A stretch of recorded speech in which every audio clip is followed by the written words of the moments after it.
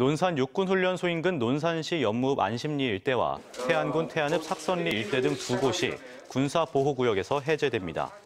더불어민주당과 정부는 국회에서 당정 협의를 열고 통제 보호구역에서 건축물 신축이 어려웠던 논산시 연무읍 안심리 일대 97,788제곱미터와 제한 보호구역인 태안군 태안읍 삭선리 일대 97,377제곱미터를 해제 대상에 포함시켰습니다.